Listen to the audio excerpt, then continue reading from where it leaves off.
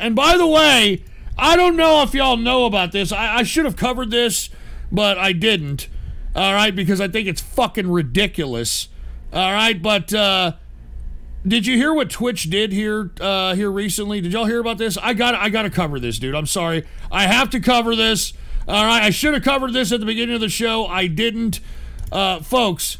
It is now illegal on Twitch. Okay, it is now illegal on Twitch to use the term simp, incel, or virgin. Okay, if you call any of these simp, incel, virgin, dumbass piece of shit streamers on Twitch, if you use any of these words, you will be a part of a harassment crackdown. All right?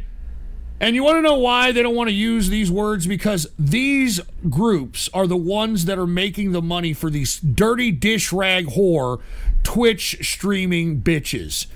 I'm telling you right now, uh, Pokimane and all those stupid Twitch bitches are, are, are the fucking hell on earth who are uh, not even that good looking. Okay, I mean they're they're not even they're not even worth the simp.